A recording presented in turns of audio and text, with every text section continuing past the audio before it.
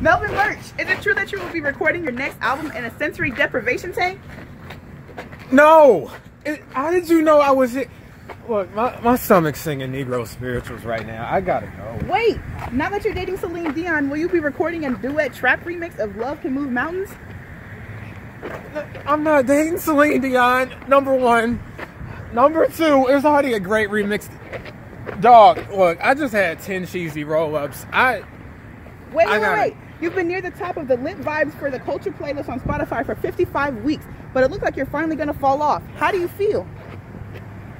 I can't tell if that's a real playlist or not, which is a problem. Why are you always wearing the same outfit? Cause it's comfortable.